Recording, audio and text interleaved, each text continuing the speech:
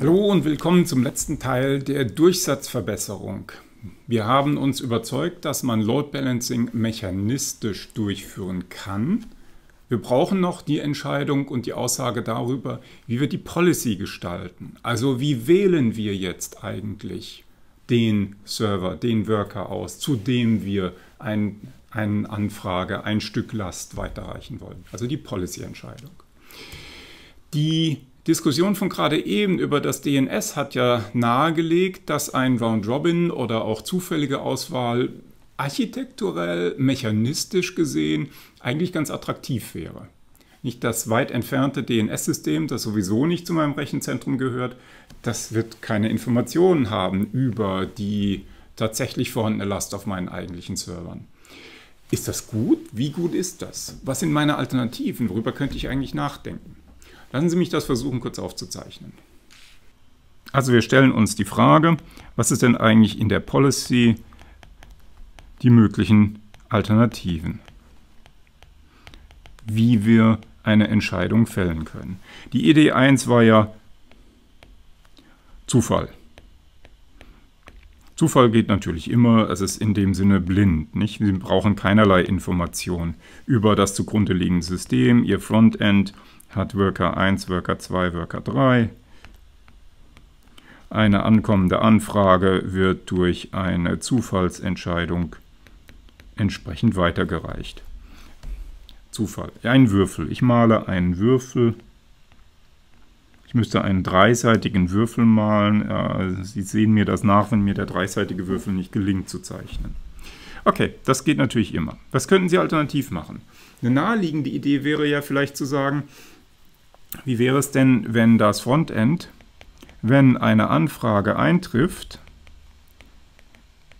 die zu verteilen ist, sich erstmal aktuelle Informationen verschafft. Wie gesagt, ein DNS-System könnte das vielleicht nicht, aber ein in einem Rechenzentrum befindliches Frontend könnte doch sagen, ähm, was ist denn deine Last? Lieber Worker 1, was ist denn deine Last?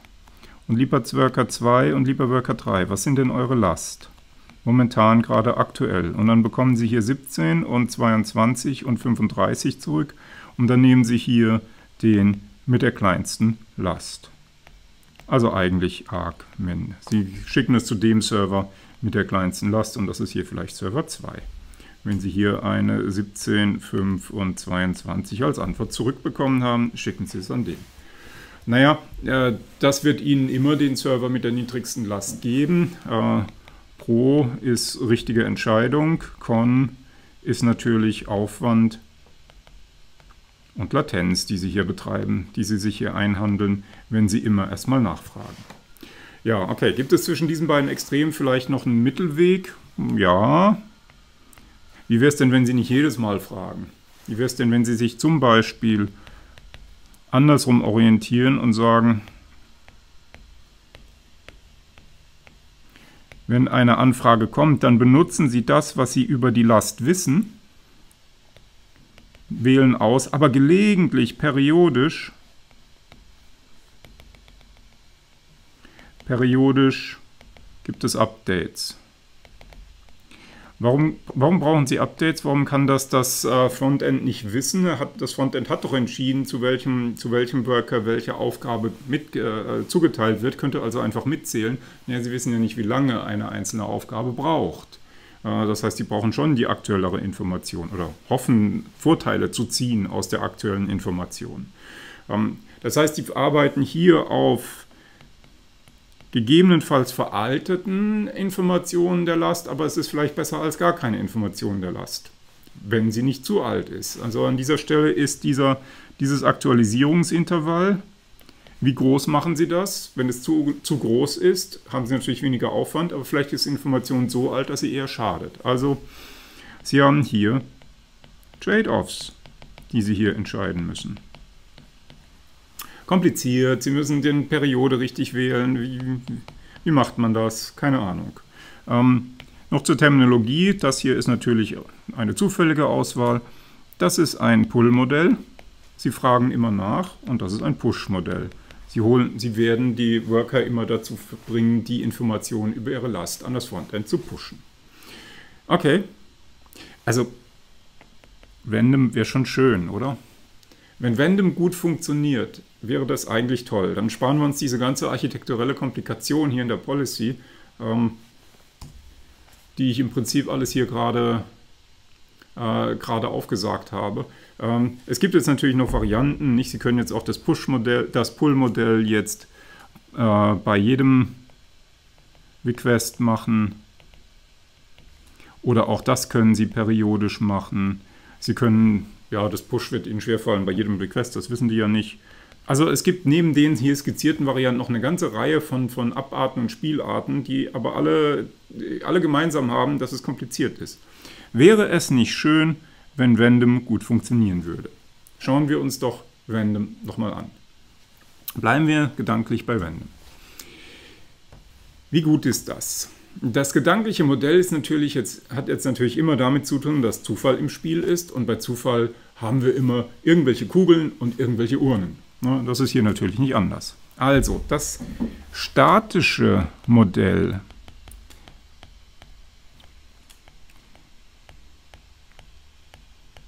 für zufälliges Lastbalancieren sieht ja ungefähr so aus.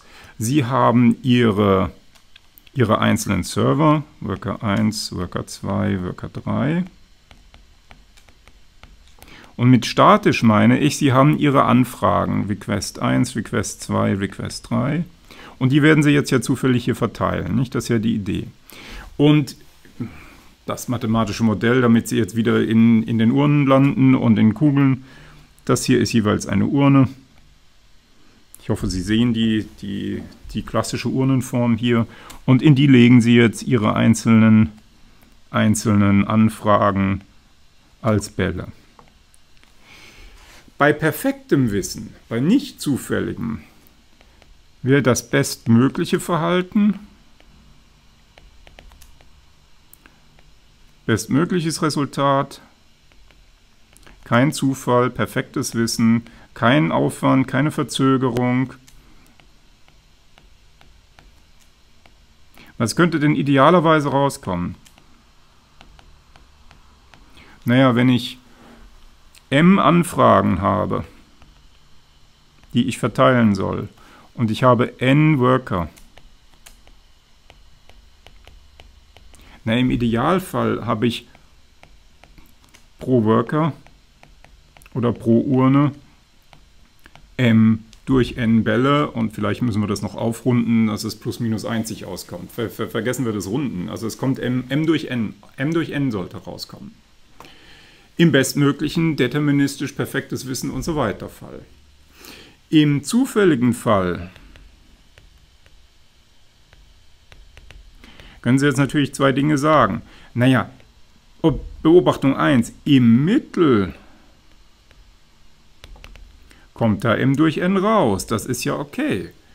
Aber das ist der Mittelwert, der langfristige Mittel, wenn ich hier ganz, ganz viele da rein tue. Es ist zwar im Moment noch ge gedanklich statisch, dass ich sage, okay, ich kenne alle Anfragen, aber ich will das natürlich Anfragen rein, Anfragen raus. Ich will natürlich das über die Zeit mir später vorstellen können. Also eigentlich interessiert mich ja gar nicht so sehr der Mittelwert, sondern was mich irritieren würde, wäre, wenn irgendwie sowas rauskäme. Wenn in irgendeinem dieser, dieser Urnen, dieser Worker ganz, ganz viel Last drin ist. Naja, es ist Zufall, das kann passieren. Aber ist das wahrscheinlich? Kann man etwas darüber aussagen, was das Maximum, die maximale Last eines Workers wird im Wesentlichen bestimmen, wie die Antwortzeit aussieht. Warum? Da steckt jetzt wieder dieses 1 durch 1 minus Rho-Argument dahinter. Sie haben dieses äh, Hyperbelverhalten, wenn Sie gegen die maximale Rate laufen. Das heißt, die, das Maximum spielt eine Rolle. Was da in dem fünft ausgelasteten Worker passiert, das spielt überhaupt gar keine Rolle. Also kann man über das Maximum etwas aussagen. Naja, das Maximum ist banal, ne? das ist m. Aber, das sind, aber wie wahrscheinlich ist das? Von daher eine reine Maximumsaussage interessiert mich wieder nicht. Was ist denn mein vielleicht plausibler über viele, viele Male, dass ich dieses äh, Verteilen von Kugeln in Urnen mache? Was ist denn mein erwartetes Maximum? Oder vielleicht sogar noch schöner, was ist denn mit hoher Wahrscheinlichkeit das Maximum, das ich sehen werde? Und jetzt ist es mir egal, bei welcher dieser, dieser Uhren das passiert. Nicht, ob Worker 1 oder 3 das Bottleneck ist, ist mir egal. Was ist bei irgendeiner dieser Uhren das Maximum, das ich sehen werde, mit hoher Wahrscheinlichkeit, nicht überschreite? Das ist eigentlich das, was mich interessiert. Eigentlich will ich wissen, was ist meine erwartete maximale Last oder meine mit hoher Wahrscheinlichkeit nicht überschreitete Last. Genau das will ich wissen. So, in einer Vorlesung zu verteilten Algorithmen würden Sie das jetzt alles durchrechnen und beweisen. Ich erzähle Ihnen nur ein paar Resultate dazu und dann versuchen wir aus den Resultaten Schlüsse zu ziehen, was das bedeutet. Die erste Überlegung ist, nehmen wir mal an, Sie würden gleich viele Urnen und gleich viele Kugeln haben und die verteilen wollen. Für diesen Fall kann man sich überlegen, dass mit hoher Wahrscheinlichkeit meine erwartete maximale Last log n durch log log n mal Konstanten ist. Naja, das log log n tut hier nicht viel zur Sache. Ähm, das ist log n. Das ist O von log n im Wesentlichen. Log n ist nicht so schön. Das ist insbesondere auch log m, weil m gleich n ist. Nicht? Also mm, logarithmisch in der Anzahl meiner Anfragen, damit bin ich nicht so glücklich. Ähm, Anmerkung, mit hoher Wahrscheinlichkeit meint hier mit einer Wahrscheinlichkeit, die bis auf Konstanten gegen 1 geht, äh, kurz, kurz gesagt. Ähm, also wir, wir konvergieren gegen 1 damit. Ja, das ist nicht so schön. Also Logarith ups, logarithmisch in n, das möchte ich nicht. Aber sind wir mal ehrlich, das ist doch auch ein komisches Modell, oder? Das ist eine komische Annahme hier. Die Annahme m gleich n ist eigentlich nicht das, was ich will. Ich habe vielleicht eine Serverfarm, die ist vielleicht auch groß, also n ist vielleicht auch groß, aber eine Anfrage für einen Server das, das ist nicht das, was passieren wird. Ich werde viele Anfragen auf nicht ganz so viele Server verteilen. Also, was passiert denn, wenn mein M größer, vielleicht sogar nicht, nicht nur eine Konstante größer ist, nicht doppelt so groß, sondern wirklich merklich größer ist als meine Anzahl Server? Das ist, das ist eigentlich eher ein plausibles Modell, würde ich denken. Und dann passiert Folgendes. Es muss gar nicht so furchtbar viel größer sein, damit was Nützliches passiert. Es reicht, dass m größer ist als n mal log n. Logarithmisch viel mehr Anfragen als Server. Dann passiert folgendes. Dann ist meine erwartete maximale Last bereits m durch n. Okay, damit muss ich rechnen. Ne? Das ist ja das, was selbst mein allwissendes Verfahren nicht besser hinkriegt. Plus ein Ausdruck, der logarithmisch ist, aber in n und nicht mehr in der Anzahl meiner Anfragen. Und das ist eine gute Nachricht. Im Wesentlichen steht hier ein Logarithmus, im Wesentlichen steht dann log n. Das heißt, ich bin approximativ log n schlechter als das allwissende Verfahren, und zwar log n, log Anzahl der Server, nicht der Anfragen. Die Anfragen gehen hier nicht ein. Das ist, das ist gut, das ist nützlich. Ich meine, das log n mit den Servern, naja gut, das bin ich vielleicht bereit zu bezahlen. Das ist in, im Prinzip ja eine Konstante. M wird wahrscheinlich das sein, was variiert. Und dass ich hier logarithmisch viel mehr Anfragen als Server haben muss, geschenkt. Das werde ich in einem realen System immer haben. Das ist keine wesentliche Einschränkung. Okay? Also in so einer Situation bin ich eigentlich schon fast am Optimum. Ich bin noch so ein log-n vom Optimum weg, aber hm, okay, geht's besser. Was ist, wenn ich jetzt doch Polling mit einbeziehe, wenn ich doch nachschauen darf. Wenn ich zum Beispiel sage, okay, ich will kein komplettes Polling, aber vielleicht darf ich bei zwei oder drei dieser Server nachgucken. Also das ist ein Random Load Balancing mit Limited, mit beschränktem Limited Polling. Also Idee wäre Frontend Worker 1 bis Worker äh, 10.000, sind wir mal großzügig, Anfrage kommt und jetzt mache ich keine blinde zufällige Entscheidung, sondern ich darf mir bei wähle drei Worker, schaue Last nach und dann nimm den mit der kleinsten Last. Wähle drei zufällige Worker aus. Das ist der entscheidende Punkt hier. Wähle drei zufällige Worker aus, schaue bei denen nach, ähm, wie sieht die Last aus und nimm dann den am wenigsten ausgelastet. Das ist ein, ein beschränktes Polling, beschränkt auf eine bestimmte Anzahl Server. Jetzt muss, ist natürlich 3 keine Magic Number, irgendeine Zahl D, wähle D, zufällige Worker, schaue dort nach, nimm den am wenigsten ausgelasteten. Bringt das was? Interessanterweise, das bringt sogar tatsächlich eine Menge. Es bringt selbst in dem Fall, dass wir nur gleich viele Anfragen wie Server haben, sinkt meine erwartete Last bereits auf m plus n, das was ich erwarten muss, selbst im optimalen Fall, plus irgendwelche Konstanten, plus log log n. Naja, log log n. Hm, in praktischen, in praktischen Fällen ist log log n konstant. Ne? So, so groß kann unsere Anzahl Server, es ist n, Anzahl Server, so groß kann unsere Anzahl Server gar nicht werden, dass wir uns hier beim log log n hier Gedanken machen müssen. Das ist, kann ich guten Gewissens als Konstante behandeln. Und das ist selbst für den Fall d gleich 2, gilt das schon. Das ist super. Beschränktes Polling hilft mir eine ganze Menge. Aber ist es das wert? Wie gesagt, hier, hier, bin, hier bin ich praktisch optimal. Selbst mit zwei, bei zwei Servern, zu, zwei zufällig ausgewählten Servern nachfragen, bin ich de facto eigentlich schon optimal. Das ist äh, im Vergleich zu dem, was ich bezahlen müsste als Aufwand für vollständiges Polling, äh, abs absolut für pra alle praktischen, das ist praktisch gesehen optimal, formulieren wir es so. Ähm, aber der Preis ist wieder hoch. Ne? Insbesondere ich muss Informationen von Worker an Frontend offenlegen. Der langen Rede kurzer Sinn. Wenn Frontend und Worker zusammengehören, ist das vermutlich das, was Sie haben wollen. Das ist es, das ist es vermutlich wert. Es ist aber auch nicht so schlimm, wenn Sie es sich nicht leisten können.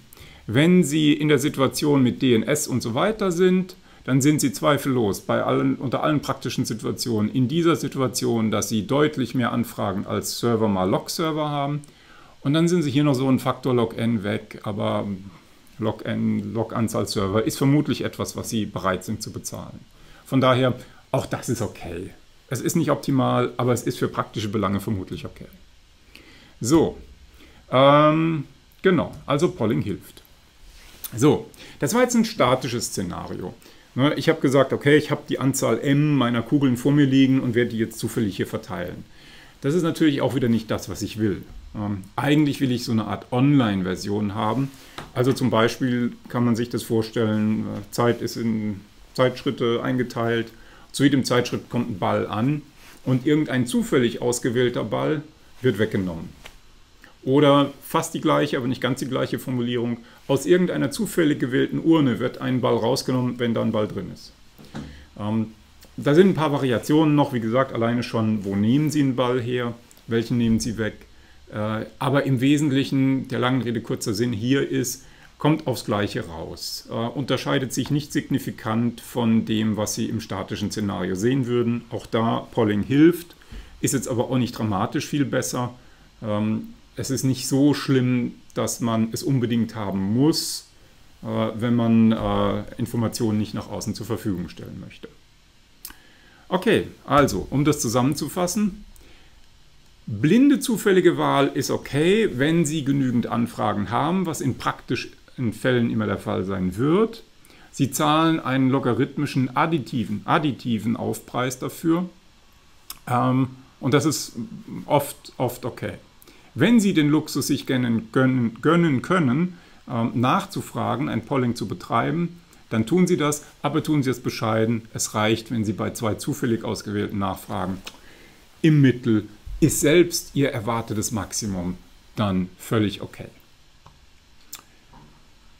Ja, wunderbar. Das soll es eigentlich auch schon sein hier für die Policies. Ähm, Sie werden merken, wir werden uns im, Vorder-, im Weiteren im Großen und Ganzen auf zufällige Policies für Lastbalancierung verlassen. Die sind einfach gut genug. Sie sind nicht perfekt, aber sie sind unter, sie sind unter praktischen Rahmenbedingungen gut genug oder nahezu perfekt. Sehr schön. Ähm, damit sind wir mit der Durchsatzverbesserung eigentlich auch schon am Ende. Was wir jetzt noch machen müssen, ist uns um Latenz zu kümmern. Und das machen wir im nächsten Video. Und danke fürs Zuhören.